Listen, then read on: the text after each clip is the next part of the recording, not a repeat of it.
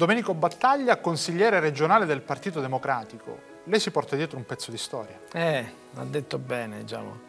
Eh, non faccio la cosa figlio d'arte, perché figlio d'arte io ho cominciato a fare politica, che certo in casa si è sempre respirato politica. Papà è stato sindaco, assessore regionale, deputato dagli anni, diciamo, fine metà 60 in poi, dagli anni 60 fino al 90. No?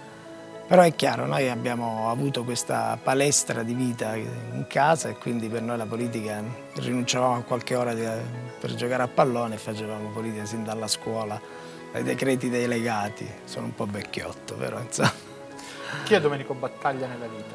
Chi è Domenico Battaglia? È uno che ha, fa politica da sempre, perché per noi politica significa servizio, servizio alla nostra gente, servizio a una comunità bellissima che è la comunità calabrese, con i tanti suoi bisogni, con un modo molto umile, molto umano di atteggiarci. Per il resto è un funzionario del Consiglio regionale della Calabria, oggi in aspettativa perché fa il consigliere regionale della Calabria, è una cosa alla quale abbiamo creduto fortemente e che arriva dopo un impegno forte, sono stato tre volte consigliere provinciale, assessore nella precedente amministrazione, però con grande veramente forza e con l'idea di poterci spendere per la Calabria ci siamo candidati alle elezioni del 23 novembre. Si è candidato e nel candidarsi ha detto nessuno primo, nessuno ultimo e ha lanciato un segnale di emancipazione della classe politica reggina in particolare. Sì, perché? Sì, perché io credo che questa terra abbia bisogno di guardare alla politica come un modello di riferimento.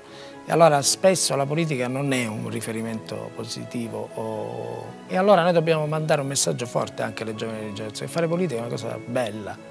Io l'altro giorno sono stato ospite a un convegno, si parlava di, del pensiero di Santa Caterina da Siena, che era una analfabeta del 1300, donna che era diventata un po' riferimento dei potenti europei della politica circa 700 anni fa, quindi non è una cosa da poco, in cui diceva soprattutto che le, la città prestata, ora noi abbiamo la Calabria, la provincia, le città sono prestate e noi dobbiamo essere bravi a restituirle un po' meglio di come le abbiamo trovate. Allora io credo fortemente nel messaggio e nel primato della politica, eh, ma deve essere fatta bene, interpretata bene e soprattutto accanto ai bisogni della gente. Perché è orgoglioso di essere calabrese? Per tutto questo, perché è una terra bellissima perché io credo che eh, ci sono tutti i connotati positivi nel popolo calabrese, bisogna saperli tirare fuori. Io credo che vada recuperato un forte senso di appartenenza, che forse in questo periodo manca. La gente purtroppo per la mancanza di lavoro scappa via dalla Calabria. Bisogna far tornare i calabresi, quelli che sono bravissimi